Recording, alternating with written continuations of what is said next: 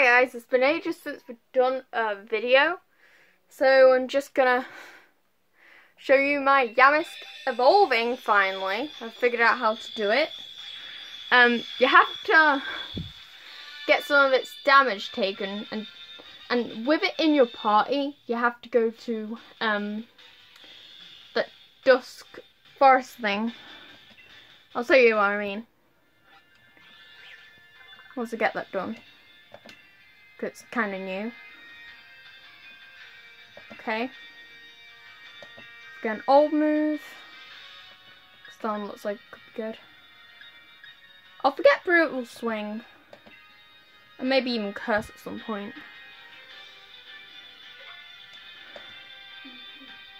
Um, okay. So I'll show you what I mean. Um, so you have to go to Dusty Bowl. There's a place around there where you have to go with 49% damage on your Yamask. And it will evolve suddenly. So, um, see you in the next video. Bye!